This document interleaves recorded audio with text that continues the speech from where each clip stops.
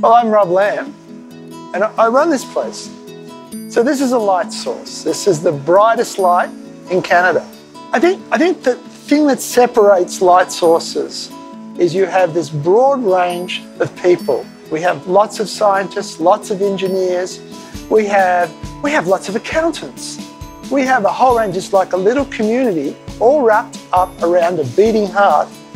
We use the light to observe, mostly to observe. We're there to read nature at its finest detail. At the same time, we can use that light to make other things. We can now use this ultra bright, the world's brightest light, to actually make medical isotopes. We don't need a nuclear reactor. We can make, make medical isotopes right here at the same time as someone else is trying to image cancer cells in their finest detail. So we're looking at both the discovery and we're also looking at the application.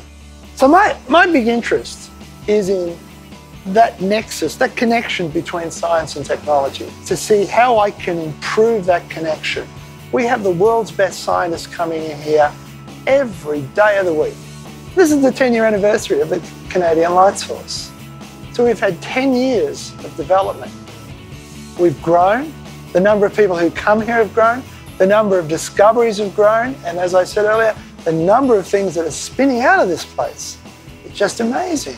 That's the key to this place in the future. It's to take the great science that we are actually seeing to help that translate into the technology that we see every day when we leave this building. And I think that's the key to this place.